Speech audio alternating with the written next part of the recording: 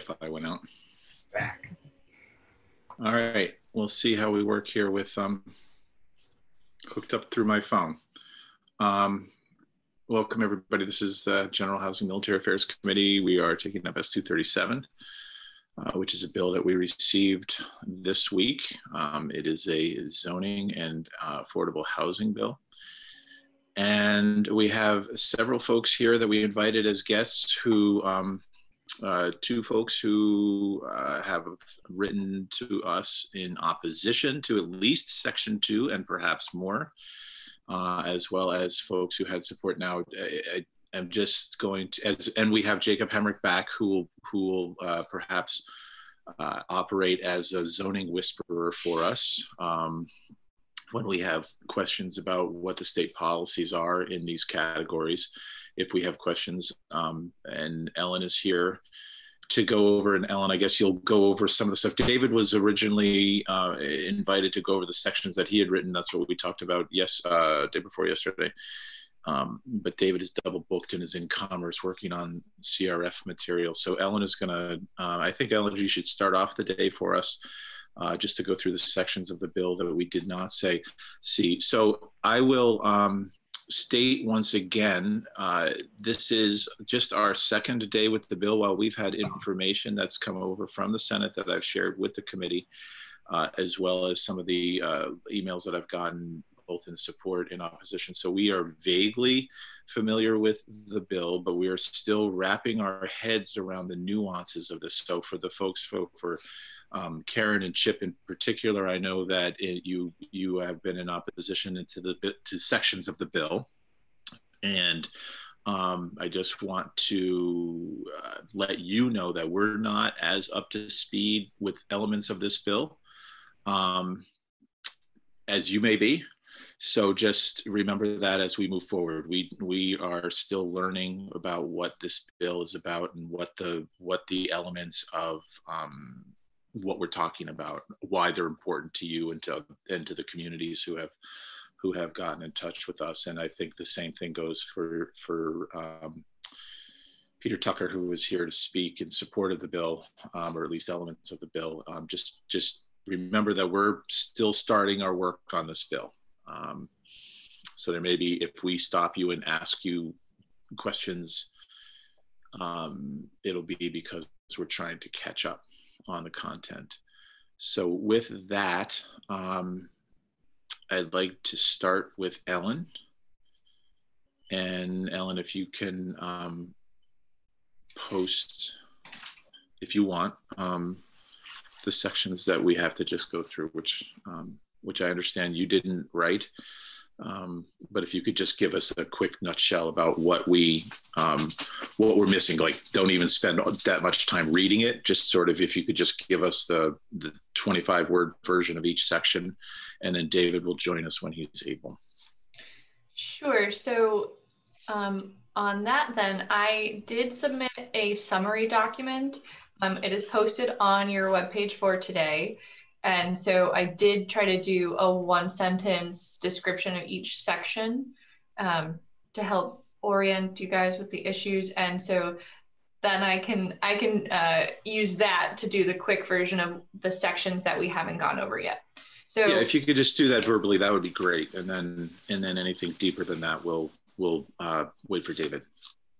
Great. So uh, David's sections start with section 17 um, that's page 15 of the bill, but on page two of the summary document. So section 17 is a age-specific housing study. So it charges the Department of Housing and Community Development and the Department of Disabilities, Aging, and Independent Living with uh, conducting a study uh, and to provide recommendations on age-specific an age-specific housing plan and policies to focus on older Vermonters uh, and that's due by January 15th, 2021. Uh, section 18 and 19, those are both related to short-term rentals.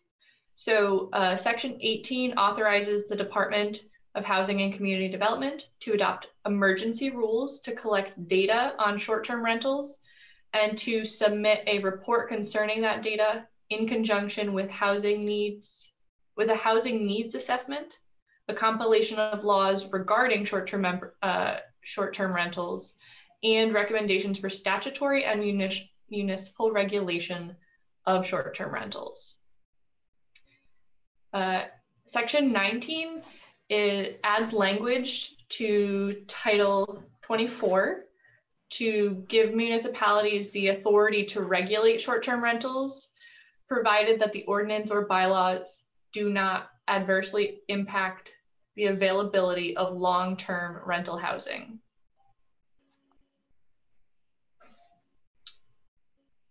Uh, section 20 was taken out of the bill by the Senate. Uh, section 21 directs the Department of Con Environmental Conservation to assist the town of Brattleboro and the Tri-Park Cooperative in uh, implementing Tri-Park's master plan, including loan forgiveness or restructuring, to allow for improvements to infrastructure, to improve similar assistance to other parks, and to identify changes necessary to expand the state assistance from other from certain special funds. Uh, yeah, so this is this section is broadly titled Mobile Home Park Infrastructure. Uh, section 22 uh, authorizes the treasurer to use funds available through the credit facility for local investments to provide financing for mobile home park infrastructure projects.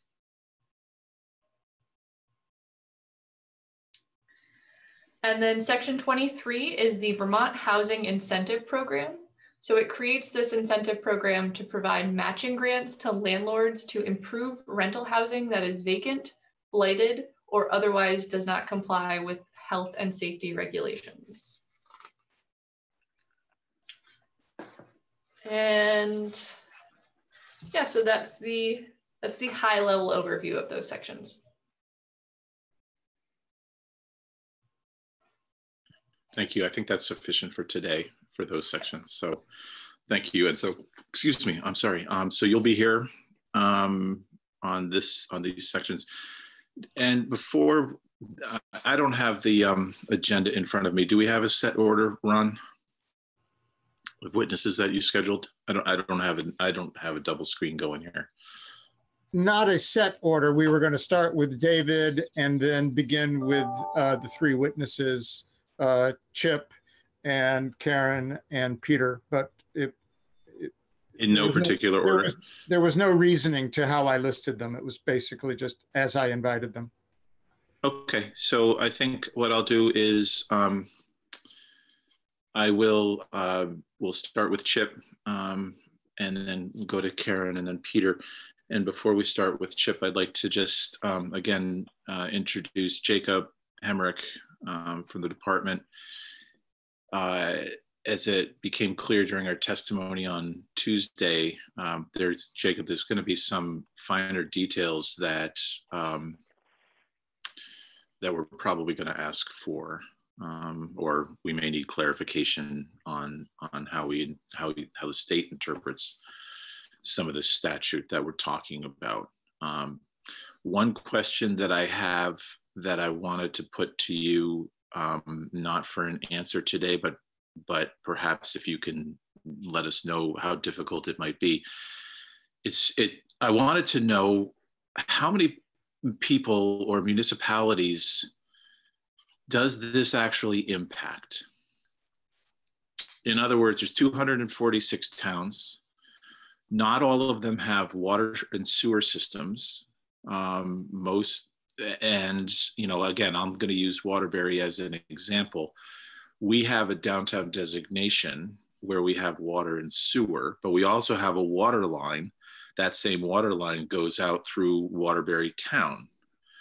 Um, so we are impacted by this uh, in the areas. So i just would love to get an idea of what we're talking about what kind of communities where there's an where there's not I'm assuming that there, where there's not an overlap between designated areas and water lines, um, because there's already zoning that exists that um, promotes density in those designated downtowns. And we talked about that this is for towns that may not be designated downtown or areas of where there's bylaws for multi-unit structures.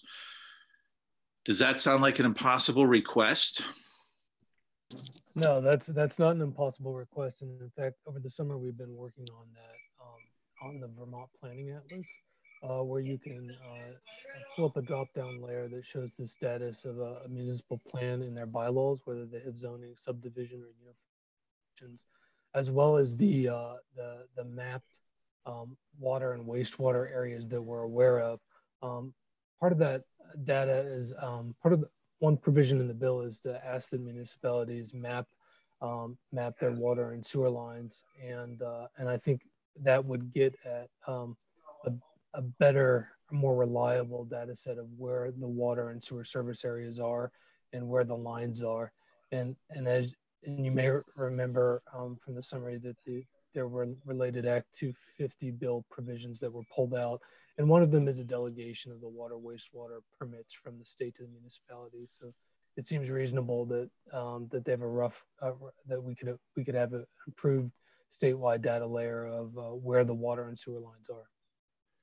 Okay, because it strikes me, and and Jacob, I don't know if you could turn up your microphone at all. You're, you're coming sure. across a little bit quietly, um, Eh, because again, I'm I'm still learning about this bill, and you know, I was struck by just the.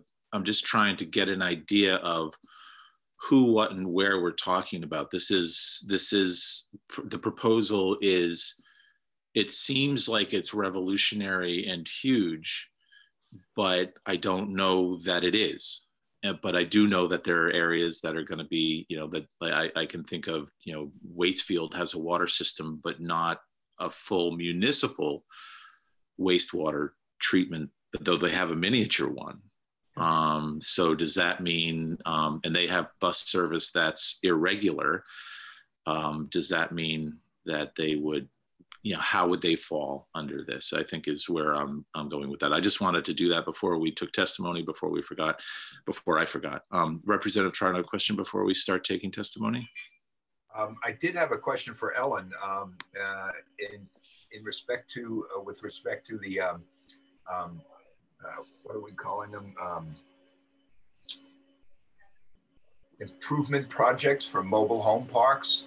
So, or infrastructure improvements. So, uh, would that be um, creating a new or better uh, sewer system uh, or water system within the park? Those, is that what is that what is anticipated in some in those sections? That might be a question for David. That might be. Might be. Yeah, let's hold off on that till Ellen's with us on that. Okay, cool. yeah, no, David is, I mean, this is, this obviously came from the Senate, but David has um, quite a bit of knowledge of the, of the mobile home park okay. situation. So, all right, well, welcome Chip Sawyer. Welcome from St. Albans. Um, nice of you to make it with us today. And, and I appreciate you reaching out earlier and letting us know your, um, your concerns about about this bill. Um, and the uh, just uh, and just another quick proviso for witnesses today and for committee, we have to be on the floor at two. So we have a short we have a short day ahead of us, and so um, with that, I've taken enough time for myself. Um, please, Chip, join us. Welcome. Thank you.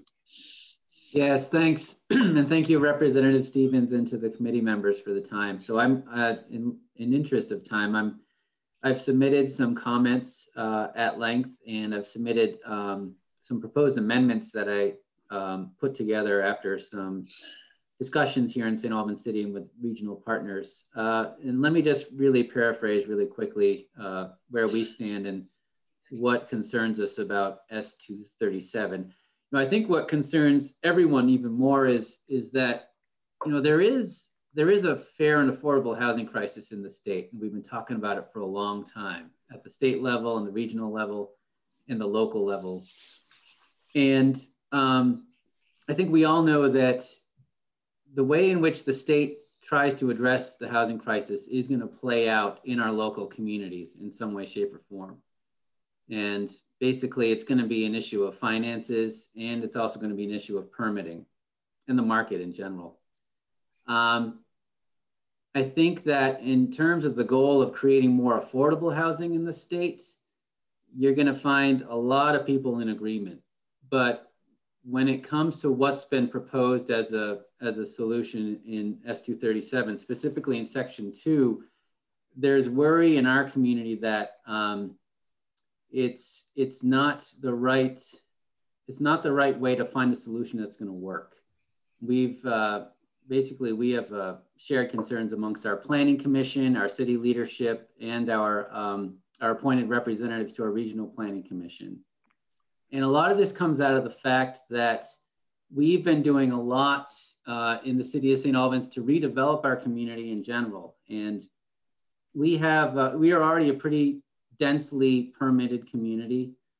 And in fact, many of our existing multifamily um, housing density rules in the city of St. Albans among all of our residential districts pretty much match what we'd be forced to do for a minimum lot size as proposed in section two of S237. But the issue is that um, there are a lot of considerations and provisions and standards that go into a community's local zoning statute. And it's all supposed to work together. Uh, everything from uh, lot width to uh, design review to lot size to what is permitted by a right versus what is conditional use review. And then what are the considerations that you're supposed to take into account with conditional use review. And normally when a community engages in its local planning process and then its land use regulation process that comes from that municipal plan, all these things are drafted in lockstep and they all work together so that development in your community implements chapter 117 of title 24 and and your municipal plan and other community capacity and context concerns.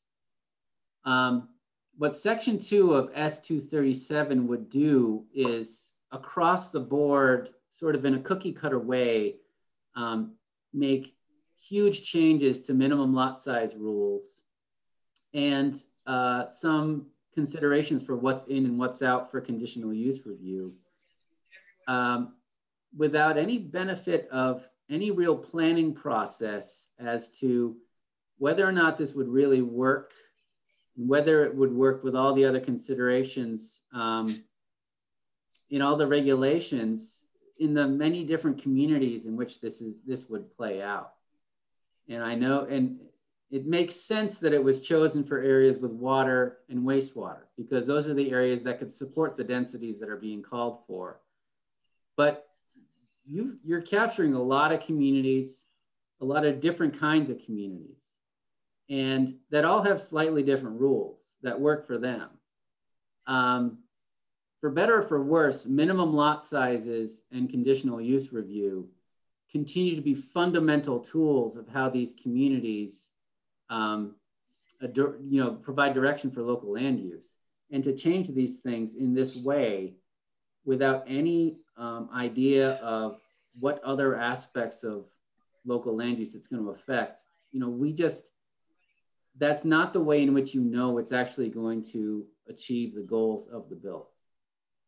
In the past, um, and even in 2004 with Act 115, which substantially rewrote Chapter 117, and which, you know, many people were worried about that back then too. Um, what Section 2 of S237 proposes to do blows Act 115 out of the water in terms of what sort of effect, discrete effect it has on very important pieces of local land use regulation.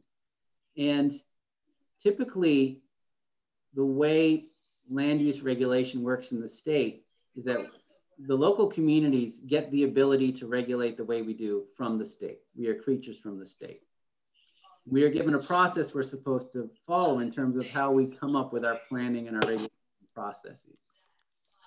And chapter 117 has some pretty comprehensive statewide goals for land use that we're supposed to carry out on the ground. But we are given the ability to find a way to meet those goals that also meets the context of all of our little communities. Um, And it's very rare in which chapter 117 says things like, there are a couple exceptions to the rule that really say, oh, and by the way, if you have this rule, it has to look exactly like this. One would be the accessory dwelling units, where we are supposed to treat a property with an accessory dwelling unit the same way we would treat a single family home. It's very direct, very specific, and that's fine. Um, another is there's a rule that no community can um, prohibit multifamily housing outright within your community. You have to allow it somewhere. Uh, there are a couple other cases. Group, group homes of a certain size have to be permitted the same way a single family home is. Those are all good things that have done a lot for um, housing of various types in the state. But it, other than that, it was really more a matter of within, within a certain high, within these two highway lanes, you've got to find a way to drive your community toward where we need, where the state needs you to be. And if, if when we engage in the zoning for great neighborhoods um, process with DHCD, and when we um, attended uh, the hearings on the road of the Senate Economic Development Committee about what to do about housing in the state, you know, I never thought that we'd see something like what's proposed in section two of 237 that has very specific state preemptions of local land use regulation. And there was really no planning process. And I know there was no local planning process about whether or not these changes would actually work. What I thought we might see, and um, what I've asked for in my amendments and, and what you'll see in some of the compromises put forward by Vermont Planners Association is we'd have some state goals um, that are informed by what we know, where we know we need to get, like uh, an order that communities need to increase their housing densities by a certain percentage over three years. Or communities need to implement um, an average net dwelling unit density over a period of three years. To, to say that my entire community needs to go to, a, to an eighth of an acre minimum lot size across the board uh, in any district that has that allows residential use, no matter what. Um, it really breaks a lot of other aspects of our land use regulation. Um, and it ignores the fact that we have different residential districts of, districts of different types that have developed historically in different ways. Um, it ignores that we have some districts that allow uh, dwelling units at a 16th of an acre. Uh, and that if you were to average out the dwelling unit density in, in our city, we'd probably already meet this goal without needing um, this broad-based change to all of our regulations across the board. I think that I think I think that obviously we should have done something like this a long time ago, uh, and we're all you know that that's on all of us. There should have been some sort of really directed guiding legislation increasing housing density in the state. Action like this is needed. Um, and I understand the need, the, how legislators feel that really bold action is needed because we got a bold problem here. And COVID 19 doesn't make it any easier. But I don't think this is the way to do it. And I do think, unfortunately, reacting to S237 and trying to make sure that um, that this doesn't pass has actually delayed some of the uh, housing density um, improvements that we could have made in our city because now our planning commission's been talking for four months about S237 instead of modernizing our residential districts or coming up with a dwelling unit bonus program for blighted homes. And that's all good because it's all part of the discussion. And as long as we end up with the right solution by the time we're done, then, you know, then no harm, no foul. But I would advocate, and I do in the amendments I propose, I advocate for at least another year of discussion about what's really going to work for a legislative, uh, new legislation for housing density in the state with more discussion where, where all of the stakeholders know that what we were actually talking about is going to be a legislative mandate because no one knew that in the stakeholder processes that I was part of. And that could really guide a discussion toward what people think is going to work. Um, if the members of this committee and the legislature feel that we got to do something more, then I would, um, I would plead with you to consider two things in terms of the way section two of S237 is written right now. And one is instead of going to an across the board minimum lot size um, allow us to do an average net minimum lot size. So if I have a portion of my community that's 2,000 square feet of lot size per dwelling unit, and a portion of my community that's 4,000, an eighth of an acre, In a portion of my community that's um, maybe a little higher, when you average them all out, we are going to have an average net density of, of an eighth of an acre. And even barring that, I still think there needs to be some room in this bill for um, different local solutions that can be made, but still meet the goals of the bill, because you're gonna find some little quirk where uh, section two just kind of breaks something and you end up with a community spending more time trying to plan new ways to counteract the new rules that S237 is putting into place so that people feel like they're still going in the right direction. Um, we want everyone working in the same direction towards how are we just going to increase housing density in the most appropriate way. So I would look at the constraints report, the, the opt-out provision that's in S237. I think that's too binary. It's either you're in or you're out. And I don't think it should be that way. I think um, if you're gonna keep a lot of section two in, you've got to take that constraints report and make it more of a, an ability for a community to talk to DHCD about coming up with an alternate solution um, that still meets the intent of this new bill and then would still make that community of, um, eligible for all the uh, incentives that are linked to uh, implementing the inclusive development that are written into the bill.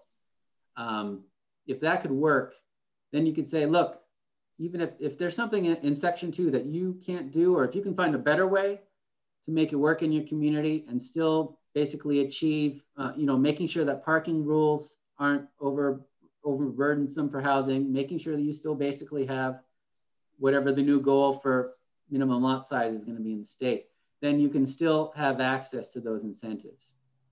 Um, otherwise, I think it's really it's not a, it's not a carrot approach; it's a stick approach because you're making incentives available to everyone unless they can't um, comply with section two. And you're gonna hear from Karen Horn at VLCT. Uh, she has a list of some communities that could have some major issues and would have to file that, that constraints report. Because the other problem with the constraints report is that if I have a section of my community with water and sewer service and I really can't do the uh, eighth of an acre minimum lot size, that means my whole community's out. I have to file a constraints report, we're out. Uh, and we don't get access to the incentives that are linked to the uh, to implementing the inclusive development rules. Um, I think that's enough. I could certainly talk more. Happy to take any questions. And uh, thanks again for the opportunity.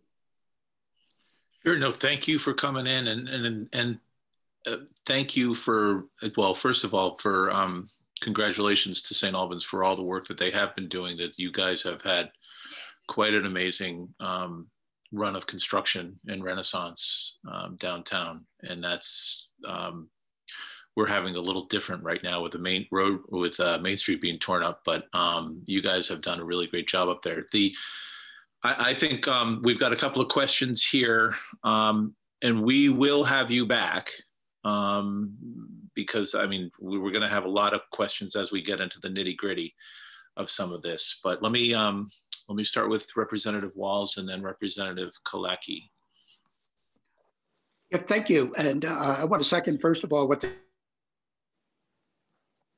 I'll say uh, in Allergan. So we spent quite a bit of time in Albans and place looking good. You're doing good work. Uh, Unfortunately, my audio got a little funky when you were talking about lot size.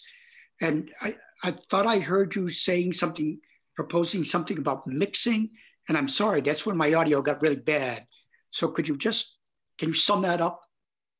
Yeah, I think I, I would say that, you know, and this is where St. Albans City might start to diverge from other communities in terms of what we think is appropriate for to come out of Montpelier. But typically the state has given us guidelines and, um, and, and general targets to meet with our local land use regulation. And I think that if, if we were going to do something about minimum lot size with legislation, it should allow communities to reach a target averaged out across the different land use districts in your community. You might have a really dense district, a less uh, sort of a middle of the road district, and then one district that has historically not been as dense and the community is not quite ready to um, really uh, do something drastic there. And politically, it might not be possible. Uh, so allow us to average out the lot, the minimum lot sizes in our various residential districts to meet an average target. That's the idea. Okay, thank you. Representative Killacky. Uh, sorry, excuse my cat here is wanting to come into the conversation as well. Um, uh, Mr. Sawyer, I, I'm, I'm wondering if in the bill there's an opt-out for communities. So would you would St. Albans be able to opt out of this in the way the bill is currently written? If it doesn't work for the region. Um, you know, we would. It would mean that um, I wouldn't. I wouldn't want to. I mean, quite frankly, if we if if S237 passed as written, there are some parts of it that would be really hard for our community. We would have to find a way to adjust the rest of our regulations to counteract some of the consequences. It, and it might be possible to do. I d- I don't want to just give up. I, I prefer to, to take the challenge head on. What concerns me is that a community that has to opt out, um, even, even if, if it's because aspects of section two aren't going to work out in a small portion of your community, it means as it's written, you have to opt out your entire community and then it means you're not eligible for some incentives that are available to all the other communities that were able to comply with the new law. And so then you're not on an even playing field with everyone else, um, despite your best efforts. I don't, you know, there's an aspect of fairness that I don't think that meets. So that's my okay. concern with that. Thank you. Okay, Representative Gonzalez, then Szott. So uh, one of the things that um, historically, so you've talked multiple times about the historical development patterns and that historically development patterns um, around the US and in Vermont have very much uh, fallen along policy discriminatory lines for people of color, for people who uh, it's not just economics, but kind of in that reign as well. And so when I hear you say these these words about uh, looking at historically what the development patterns are, that's something that really comes up for me, and particularly around wanting to average out across your area or across the areas, because this bill is not just specifically for St. Albans, but for the entire state. And so when we have when you're talking about some areas might be denser, some areas might be less dense, let's follow historical patterns. That's something that um, really raises a red flag for me. Um, and so uh, wanted to, don't specifically have a, a question in there. I, I, thought that I might be able to get, get to that. Um, but I guess my question is, how, how have you all been talking about and thinking about that in terms of the, the equity issue that the historical development patterns really have been inequitable? And so then how, if you're advocating for uh, an not across the board density, um, but instead continuing to have some parts be more dense and some parts to be less dense?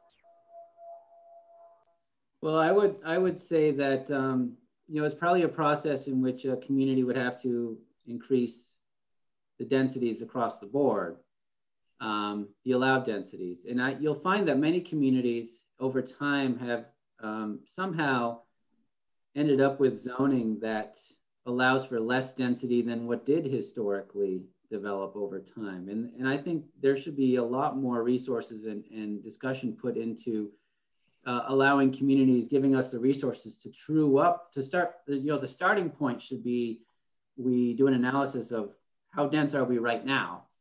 Forget what our regulations tried to do when they were changed two decades ago.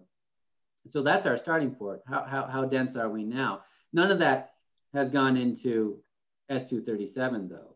Uh, these rules came from, not from Vermont, but from Western states is, is what has what's been said or what I've heard in the past. You know, I would say a lot of it is contextual. In St. Albans, um, if you want it, you know, we're still a very dense community in terms of what our regulations allow. And, um, you know, I, I think that perhaps uh, in terms of the equity discussion, there's a lot more for us to learn and to listen, but that's not, that's also not something that's in here. I mean, if, if we're looking for um, zoning uh, or, or land use regulations to that are more mindful of implicit bias and equity issues and social justice, um, I don't know that what's proposed in section two of S237's benefited from that conversation at all. I think we should have the conversation. And I think it should, I think the conversation should be forced at local, uh, in, in, in local communities. But I don't, this, I don't see that in this bill. Representative Szott, and then Troiano. Uh, Mr. Sawyer, um, when you were talking about this appeals process, was the the entity was DHCD? This proposed appeals process in an opt-out situation, DHCD was the entity.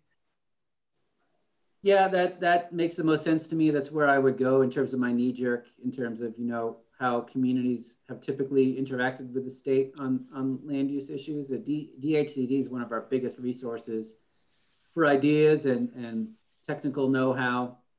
And also because I believe the uh, constraints report opt-out right now is supposed to go to DHCD. Uh, so that's why I, you know, that, that, that's why I thought of them. Okay, I um, I just wanted to make sure I wasn't impugning the wrong uh, agency accidentally, which is to say that this this debate so far has very strong echoes of Act 46. I don't know if you're familiar with that with school consolidation, but essentially it's a, establishing a statewide mandate for action across all communities, a one size fits all, it supposedly had a built-in appeals process like the one you're proposing, but in practice, none of those appeals were actually approved based on their merits. They were only appealed um, based on already existing constraints. And so I'm worried that you're selling yourself short by wanting to have this appeals process. Again, not to impugn DHCD and say that they would be as disingenuous as other players in Act 46 were, but I would definitely caution you to not get the changes you want built into the bill as it stands rather than relying, relying on the good faith of actors outside of the bill. That would be a dangerous uh, step, in my opinion. Okay, right. so noted. Thank you. Uh, Representative Troiano. I just had a comment on uh, parking. I know we had a, a, short discussion the other day about it, and Representative Hango seems to be up to speed on this, but you know, I grew up on a street where there were five homes and big uh, and large trees um, that uh, uh, existed on this street, and uh, to a point now where um, you know, our family home is gone, but um, um an influx of multi uh, um, multi-family dwellings. When I grew up, they were all single-family dwellings. So. Um, an, an, influx of uh, a, a numerous multi-family dwellings has presented a parking problem when you build a four family unit and you put one driveway in, uh, the rest of those uh, vehicles go on the street. And at some point, the street is um, unavailable for parking. So, uh, in reality, um, I see landlords suffering from this as a, as a result of not being able to either rent or sell these properties when you can't leave your vehicle on the street overnight or you can't find a spot in front of your home. So, you know, I just rely on, on, you know, my experience for that. And, um, you know, I think off-street parking is very important in these developments and that, um, you know, that, that, that, that it's not an encumbrance to landlords. Uh, it could be, uh, in the long run, a benefit to landlords. Yeah, um, I, I, didn't get to speak to that. I do think the parking provision, uh, which has um, uh, local, you know, local land use offices having to monitor leases based on whether or not parking spots are included in the lease, and then uh, cutting our parking minimum parking uh, rules in half if if a uh, property is within a certain distance of a transit stop. Although I don't know what a transit stop, I know what a transit stop is in Chittenden County. I can tell you it's not the same thing up in Franklin County. I understand that because my house becomes a transit stop if I call Green Mountain Transit. But um, I, I think that um, I think we need to be able to come up with our own solutions to that. Typically, households in our city, rental households, have more cars than what we hear is happening across the nation. Most of our streets become one lane streets if all of the on street parking is utilized. And that's okay, but it, it becomes a hassle that, and we do start getting complaints at City Hall. Um, I think we need to modernize our parking regulations because sometimes we find out projects we want to happen are saddled with more parking than they need. I get that. But we got to be able to have our own conversation uh, and to come up with a process by which um, I think on a case by case basis, a development's parking is based upon what's been released by the Institute of Transportation Engineers, but also um, uh, uh, similar developments in your community or around your community. So you, you, you know you're um, comparing apples to apples. Thank you.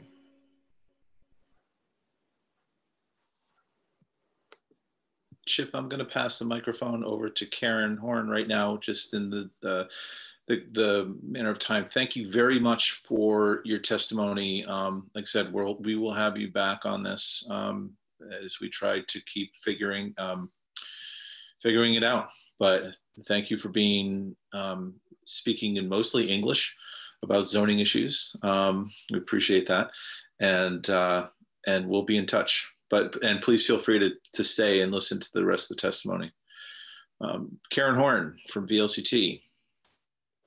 Thank you. Thank you very much for having me. And I would comment that you've already had a bit more of a substantive conversation regarding the details of the bill than was had in the Senate um, the two days before you adjourned on June 26th. Because as you remember, there were a lot of balls in the air um, that that week before before you recessed, not adjourned. Um, so there there are a couple of issues that um, Chip has mostly touched on that are of great concern to municipalities. And the first one that I'm going to discuss is actually a new issue that was not raised in the Senate um, had not yet come to my attention. So um, section one would require towns to um, map water and wastewater lines, um, facilities, and uh, service areas. And there's a few problems with this. Uh, the first being that um, many of the water lines and, and uh, wastewater lines in our more urban areas in the state are very old. In Rutland, some of them date before the Civil War, and they're working on replacing them, but, but that is a fact. So we don't actually know where all of those lines are. That's one problem. The second issue that has been raised recently is that generally you do not put out maps of water and wastewater lines for public consumption because of security and, in fact, terrorism concerns. That if somebody wants to have um, to majorly disrupt a community, they can affect your water supply. So the the comment that I received um, from a number of actually public works directors on this is that um, if you wanted to generally have um, a, a map of the general service area, that could be, uh, that, that certainly would be something that would be workable. But if you want to map every single line and where it is and the, all the interconnections and have that in a public forum, that's um, fairly ill considered. And then um, clearly producing those maps will be uh, very expensive for for some communities that have not put all of that information to paper um, in the detail that's being required of the of the uh, bill. So I would just ask you to think about those issues. Um, section two is, of course, the other section that I wanted to um, discuss with you. And we have the same concerns around a one size fits all uh, cookie cutter approach to requiring inclusive development. We do have unique communities in the state uh, they spent decades putting together plans and zoning regulations that enact a vision for that community. Um, and I did, I, I sent some testimony, which I believe is on your website, about what some of the perverse effects might be in, in some of the municipalities that would be affected by the requirements. So in Bennington, you realize that um, due to the PFOA crisis that they had down there in the 2010 decade, um, they had to extend water lines to very rural parts of town where ordinarily they would not have ever extended those water lines. That was to provide people with clean water supply. But if you had to provide one quarter acre lots all the way along those lines into remote parts of town, outside of the downtown um, and, and uh, village centers, you would um, drastically and completely change the nature of that community. In Montpelier, uh, and, and Montpelier is really a, a model community in terms of infill development, um, rehabilitating old buildings upstairs in downtown into um, really nice apartments, well insulated with elevators and all those expensive amenities. Um, they've done that with the um, affordable housing uh, advocates around the state. They've also uh, changed their zoning to allow for older buildings outside of the, the downtown center and the core areas to be rehabbed and um, multi-units or, or duplexes allowed in communities. But, but it's a process that's been iterative that has uh, secured neighborhood buy-in that has been done with a sense of what the historic apologies, Representative Gonzalez, but but what the historic um, uh, pattern of development has been in in that community, and to impose the, those very small uh, lots citywide would again change um, the way Montpelier uh, was able to deal with housing uh, altogether. It also does raise, particularly in Montpelier's issue, uh, in Montpelier's situation, another issue with respect to wastewater, which is that Montpelier's wastewater um, facility is somewhat restricted due to court cases back in the um, early 2000s um, that that prevented them from expanding capacity considerably. So a lot of these towns have pretty limited wastewater capacity. And if and and we're not sure that they could even accommodate the the build out if um, for instance one acre lots were required and um, somebody tried to build out every available lot there there wouldn't be capacity. In Randolph, which is also a, a very interesting situation, um, much of West Randolph and Randolph Center are served by public water and wastewater. So up by the interstate and the I-89 exchange area, um, Fish Hill Road is the uh, just to the west of I-89. It's a residential district. And um, current minimum lot sizes there are five acres or two dwellings per 2.5 acres.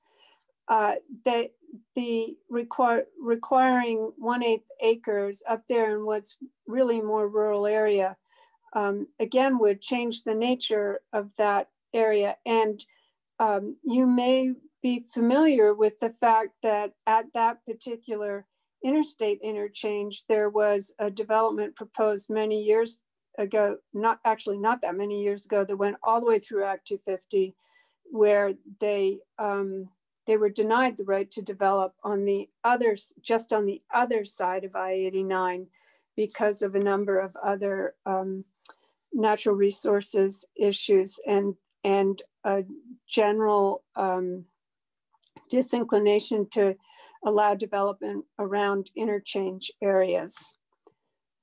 Uh, and then Stowe, um, we realize that Stowe doesn't always get a lot of sympathy um, because they are a resort community. But in, in Stowe, the sewer service district extends over eight miles from the lower village all the way up the mountain road and to the Trapp Family Lodge, the, uh, approximately 6,400 acres altogether. And um, right now it includes 13 different zoning districts with uh, lots ranging from one acre in size up to um, five acres. And if you were mandating one eighth acre lots in all of those 13 zoning districts, uh, the potential would be for more than 51,000 units of housing to be built. And um, that would not necessarily provide affordable housing, which is sort of, which is what the objective is. The, the um, sense in Stowe is that uh, you would get a lot more short-term rentals. You would get a lot of um, high-end second homes just because of the nature of that community. And you wouldn't necessarily get um, what we're, we're all trying to get to, which is providing housing for middle income people, for um, lower income people, for people who haven't had the opportunity to, to have um, purchased housing or owned housing or rental opportunities in some of these areas. So I, I, I did just want to um, emphasize that uh, we, we are hearing from all kinds of towns across the state now ab about S237. Again, we didn't um, hear as much in the Senate because there was so many other things being dressed in the Senate at the end of um, at the end of June there. So, uh, but this is something that uh, we really think needs to take a more iterative approach. That if if the bill could incorporate the recommendations of the Zoning for Great Neighborhoods project and guidance that just came out, that that would be a much more um, effective way to, to actually provide housing. So I'm happy to take questions. And maybe I spoke, talk too fast. I tend to do that. No, that's fine. We are. Um, I, am going to just ask a couple questions first because um, I, am a little bit confused by some of the scenarios that you're drawing here. Um, my impression of this legislation is, and as it deals with uh, lot sizes and whatnot, has to do with districts, um, zoning districts that have already been created that allow for multi-unit housing. And I don't see where if you put a water line someplace that um, you know that you're going to have a second, an expensive second home on a one eighth acre lot in Stowe. So I'm just conf- and you know, or or in Bennington. I mean, I don't know the details of Bennington. If if that whole road that leads out to the you know places have uh, are already zoned for multi-unit. This is this. It strikes me that this legislation so far is that, that I understand it, and I'm not done understanding it, it is about areas that have already allowed multi-unit housing and that it's not about um, necessarily about allowing new units. It's not imposing one eighth acre or one quarter acre lots on um, areas that have not been zoned in that way. Is that am I misinterpreting the, the, the, this this proposal? That's not the way we understand it.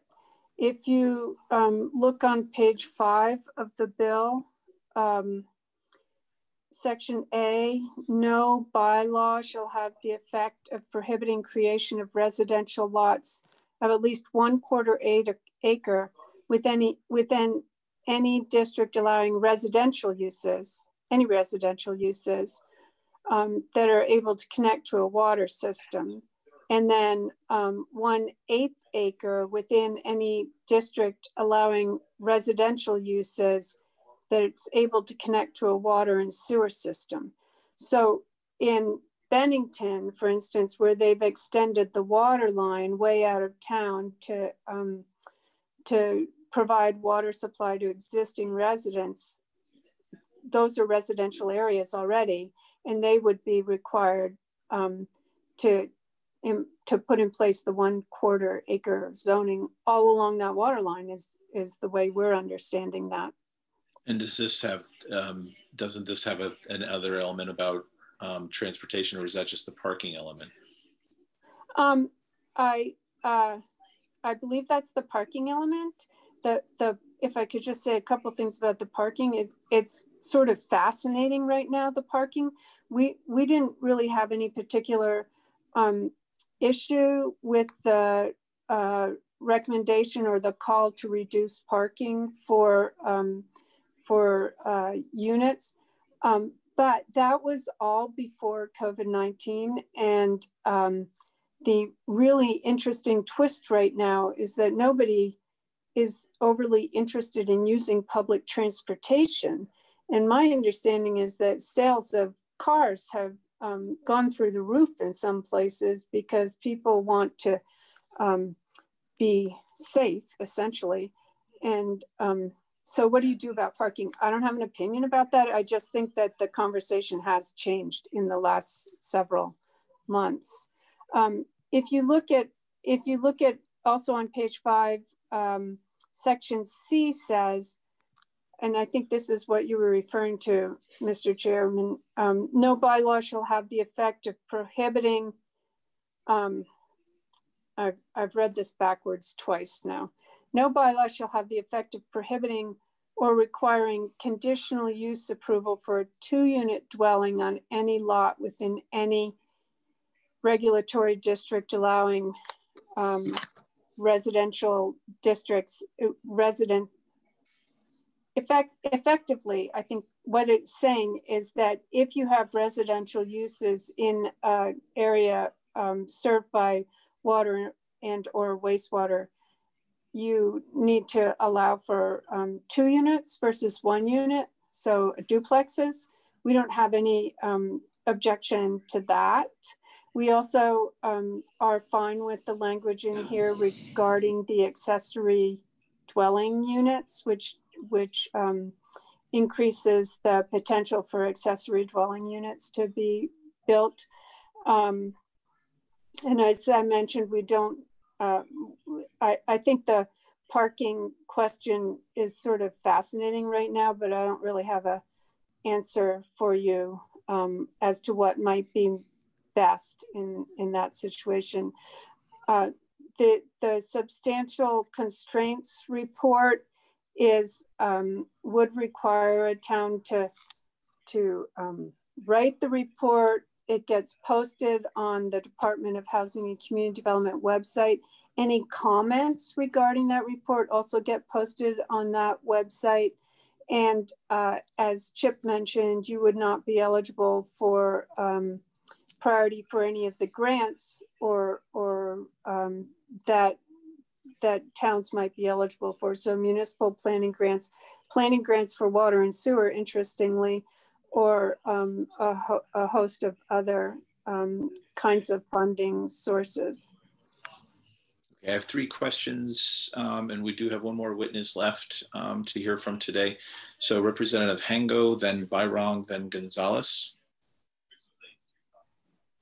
Thank you. Um, this is maybe more of a comment than a question for anybody. Um, I, I'm hearing a little bit about um, the municipalities being able to um, still retain local control, but then not be eligible perhaps in the same way as any municipality that that followed these new regulations.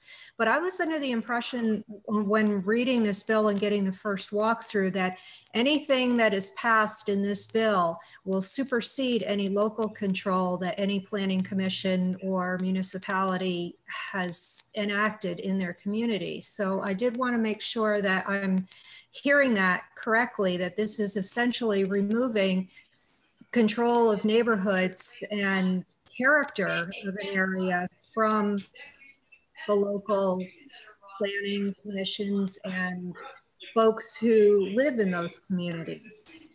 Um, and the other thing that concerns me is that nobody is really seeming to pay a whole lot of attention to this zoning for greater neighborhoods report.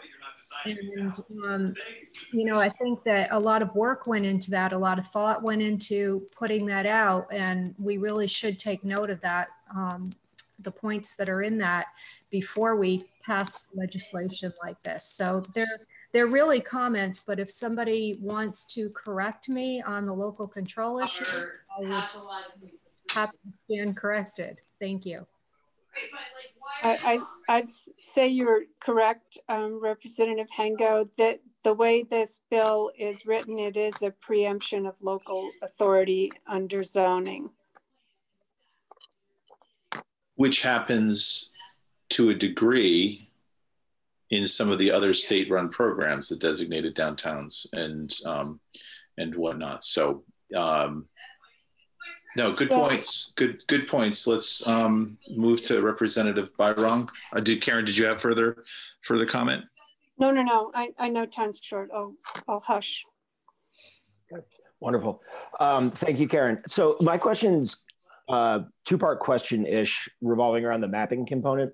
So um, Vergennes, the community I uh, represent, surrounding area, uh, we have one of the very old, very antiquated uh, stormwater systems. Um, and ironically, to this conversation just this morning, our, our public works was um, putting smoke through all of our lines because we're in that lead up to trying to repair and augment this infrastructure. And, and yes, it's very expensive. We're looking at a, a total project cost of somewhere oh man, I think it's between 15 and 20 million dollars is what we're looking at right now. Um, so with that though, I mean, we're essentially are trying to map it because we don't know where everything lies as it is, and we kind of need to know where like the the areas that are uh, more compromised than others are located and how to fix it. Hence, pushing the smoke through the whole town. It, by the way, the tenant in my duplex loved it in their uh, basement filled with smoke this morning. That was a fun phone call. Um, so, so I guess like around the mapping concerns, I mean, we're kind of doing it anyway with the uh, communities that are being proactive with their current antiquated infrastructure. So, how do you see that sort of playing out? I mean, they, in order to do these projects correctly, they kind of have to create a map to improve the system.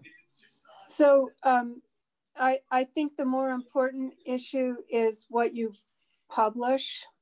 Um, and the recommendation from the public works people we've talked to is that um, you not publish the specifics of where all those water lines and, and wastewater lines go, mm-hmm. that you might, um, that you would put out um, what the general service area is and if somebody is actually doing a development project, they would go into the um, engineer's office, public works office anyway, and get the specifics of what connections would um, mean, you know, what would be entailed in making connections. Uh, in the other bill, H926, which is the, they, when they were in the Senate initially in June, those two bills were together. Um, but uh, in the other bill, there is language around um, connections to municipal wastewater systems and water supply systems and who permits that. So you're going to have that conversation. Okay. No, no. I mean, what you just said is, it, it, I'm so new to this content right now. Um, I've been going back and forth with some folks with like our local planning people, regional planning, and, and actually my wife is on our municipal planning commission. So she actually walked me through a lot of the language in this. So that, I mm-hmm. mean, that makes a lot of sense to me, you know, having that be secure information because of those concerns, but, you know, and obviously being made available to the parties that need it for the work. So, okay, thank you. Right. Representative Gonzalez. That was part of my question as well, Karen. And um, and so um, wonder and also hearing about your concern, even though right now, in terms of um, answering Representative Birong's question, you said that your concern is more about the security of the information rather than the cost of the mapping. Um, but when uh, my, my question is about that, I understand as the bill is written, it doesn't say, you know, immediately, there's not that date of mapping at all. And so there's not that um, necessarily a big upfront cost um, like uh, Representative Birong's town is, is going through on their own right now. Um, so I just wanted to ask your thoughts and clarification about that in terms of the cost, but actually uh, you might have something to add, but I think you just answered it, we're answering Representative Birong's question. Well, that is a good point that there's not a um, date certain by which you have to have accomplished that. But um, to, to Representative Birong's point about the cost, it, it's not an inexpensive proposition to, to put those maps together and to actually determine where all those um, lines are and where the leaks are. Theor theoretically, the smoke wouldn't come up in anybody's basement yeah, and, and so I was just wanting to, to get your opinion on um, how it's currently written in terms of that time um, that's required and so that upfront cost. Because when I read the bill, I see it as potentially if someone is interested in putting an auxiliary dwelling unit on, um, or they're, they're interested in uh, re um, splitting up a five acre lot, for instance, like you um, were talking about in those places, that they could ask the city to have that to look at that information and the city could be in that process or so it could be iterative as we've used in kind of different ways as building out and so that it wouldn't be this huge one-time cost for the city to map um, everything all at once um, is the way that i'm reading the bill so i just that's why i wanted oh to that's that's interesting um, generally what happens is when there's a new um, requirement put into the planning statutes, chapter 117 and title 24. The next time that you update your municipal plan, you have to incorporate those provisions. So a plan, a municipal plan is in effect for eight years now. And um, the next time that you update your plan, which might be eight years out or might be, you know, two years out, you would include those um, provisions. The, the one thing I wanted to mention about the um, accessory dwelling units is that um, that's not tied to water and sewer. That's anywhere in the municipality. And a lot of those um, residential units, for better or worse, are on septic, not on a municipal sewer system. So, so that's just another, um, you know, you would have to figure out is the septic sufficient to support that accessory dwelling unit, which is a whole different question Thank that you. you have to deal with now, Mm-hmm. actually. And that's uh, actually a question I want to deal with after at, at our next session on this because you know there were comments about um, adding in all these different one eighth acre lots and you know what if the the municipal capacity like montpelier you know can't handle it? And my feeling at least what we what i know of locally is that if you don't if you can't handle it then you can't permit it. You can't demand someone a developer can't demand that there be allowed to build even if they get all the other zoning if the capacity doesn't exist in the wastewater treatment center uh, system, then um, then it can't be done until that investment's been made. But we can. I think that's that's.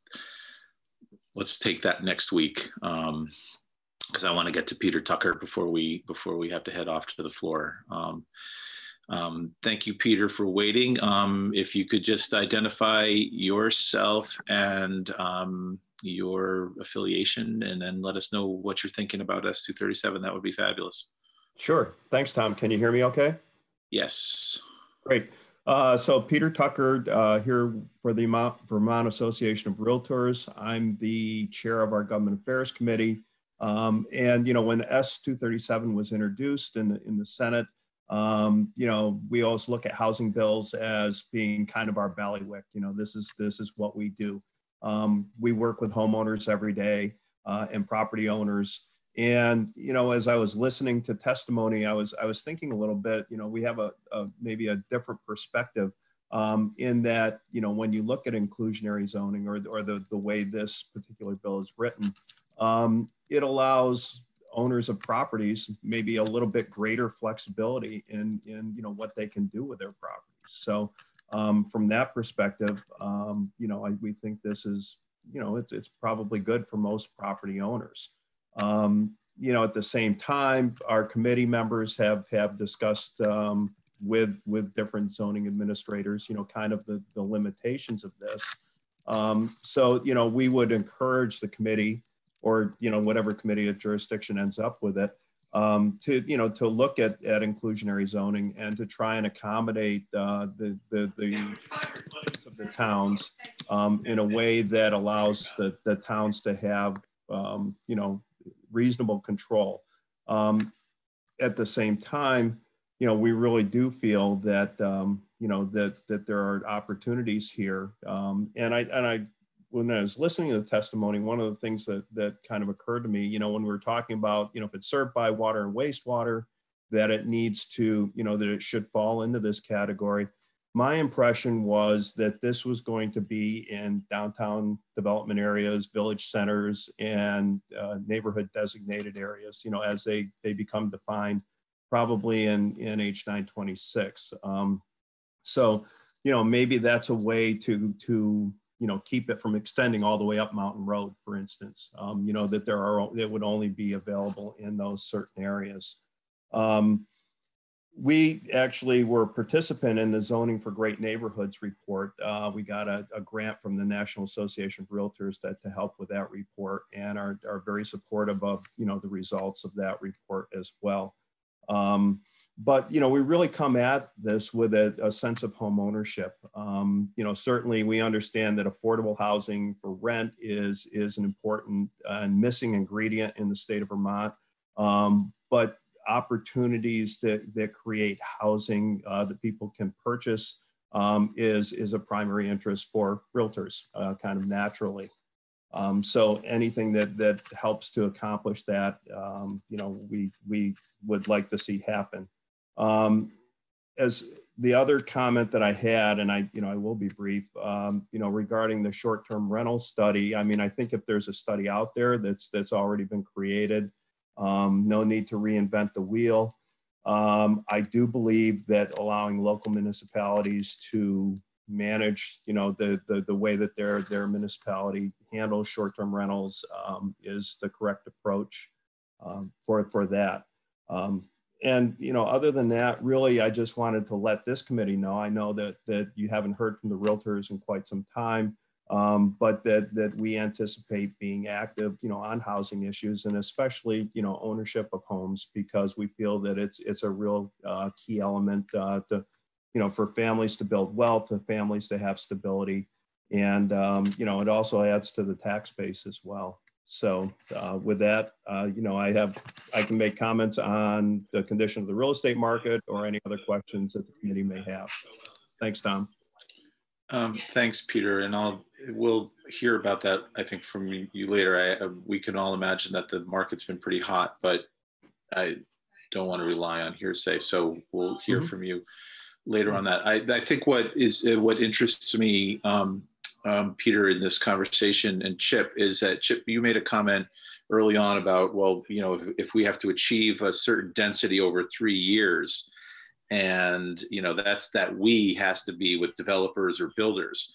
Mm-hmm. And you know, the Peter's comment about where this might give developers or owners more flexibility. How do those play in together? What did you mean by it, it might give people more flexibility? Well, if there there are you know, if, a, if there are lower minimum standards, then, you know, a property owner would then be able to do, have other options for their property that they might not have under current uh, zoning conditions.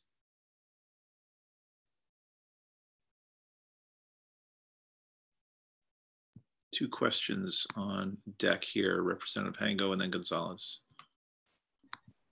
Rather than a question, this is another comment, if you'll indulge me on this. And I know you said, um, Mr. Chair, that we're going to talk about this next week, but I really want to put this on people's radar that um, septic systems, it's a big problem, as well as um, wastewater, municipal wastewater systems in the state of Vermont.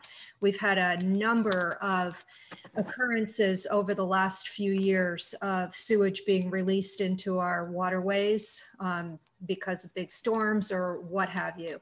Um, we also have some pretty strict rules um, that residences currently need to follow in terms of building septic systems. So all of this is leading me to water quality, to our lakes, um, our rivers, and um, just basically being mindful of groundwater and the need if we do build up this development that we are going to have to dispose of its waste. Um, I have some knowledge of septic and wastewater issues, and um, this is of real concern to me, particularly living in rural Vermont. But as we know, St. Albans and um, Burlington and other municipalities have had some issues as well with this. So please be mindful of our environment when we talk about this as well. Thank you. I have a feeling the second half of the bill, the 926, addresses quite a bit of that as well. Um, but we don't know that yet. Um, we haven't seen that bill. Um, Representative Gonzalez. Uh, Peter, I'm wondering if from the real estate agent perspective, uh, you, you could talk a little bit about more about the auxiliary housing units and you um, talked about uh, encouraging homeownership and um, if you know about the the ways that auxiliary housing the ADU, ADUs um, uh, support home ownership. Well, I mean, an auxiliary housing unit would would typically be a rental property, right? I mean, I, that's my impression at any rate. Um, you know, what we would be encouraging of is is properties that can be developed. You know, either smaller lot size that allow for that uh, independent, um, you know, independent property to be to be built and then conveyed to somebody who you know has greater you know greater financial interest in the property um, contributing to the tax base i think that's another you know regardless of, of how it's done if it adds to the grand list or, or the value of the property um, that's a positive thing from a you know from a, a tax uh, perspective um, but it, it, really you know it would be properties that that then can be conveyed uh, to other parties so i'm not sure auxiliary dwelling units would always you know, would accomplish that necessarily. Um, you know, it would be more in the in the smaller, you know, allowing for a smaller lot size to be developed and then conveyed. So when you, your perspective from a real estate agent is more from uh, the perspective of having smaller lot sizes that are um, more financially accessible to folks. Right, right. You know, I, I think that that's, you know, that's really, and, you know, we talk about affordable housing, uh, you know, for me, it's entry level housing, you know, something that could be achieved, um, you know, maybe as their, the first step into home ownership. Right, thank you. Thank you. And Peter, I'll put you on the spot um, in our final six minutes just to help me understand if it's possible in less than six minutes, um, what drives the market? Um, is it the price of the land? Is it the view? Is it the sticks that are needed to build it? I mean, I mean, I guess, it, and I guess I'll start my answer by saying it depends on the community. True. Um, and I, I, if I can just rephrase the question possibly, you know, that, that, you know, what it, you know, what are the underlying costs of, of, you know, developing a property like this? Um, and it is, you know, the sticks cost a certain amount of money to build, you know, the, the employees to, to construct that home, you know, that's a, that's a fairly constant uh, value, if you will. Um, you know, the underlying cost of the land and the cost of permitting um, are the two things that that seem to create a much higher base level. You know, that when you add the stuff that you can't really change a lot, you can't change, you know, the roof structure, the the you know the materials used, um, that that push uh, push affordability so much. So you know, things like this that maybe allow for um, you know little less, you know, less infrastructure or, or um, development costs uh, on the front side potentially bring down that overall cost of, of that housing unit. Okay, everybody got that? There will be a quiz on Tuesday. Um, they, I'm gonna um, thank everybody who came. Jacob, thank you for for sitting in and listening and being available. Ellen, thank you. Uh, Chip, thank you, and, and, Karen, thank you for this. I, I um, it is um, uh, odd to always hear that there's you know in the short time that we've had that there's there's um, this amount of testimony or this kind of detail is is kind of a, a, new opportunity for you guys to express. So I'm glad we're able to do that. We will continue working on this. This remains a priority to get it right. Um, and I think I'll leave us on a light note, just as a, a personal disclosure, um, full disclosure. Um, Peter Tucker um, is my wife's sister's husband's sister's husband. The reverse engineers my statement, Tom. Yes. So uh, we we leave it at brother-in-law, but I suppose in that Vermonty kind of way, um, uh, Peter and I have washed dishes at Christmas time together um, in different places. So um, indeed, just didn't want to get that into the news in the ne- in the most negative in, in the most negative way. So um, thank you, everybody. We have to get to the floor, and um, we will see you at 8:30 tomorrow morning um, to hear about the uh, housing programs that we've stood up. Thank you, everybody.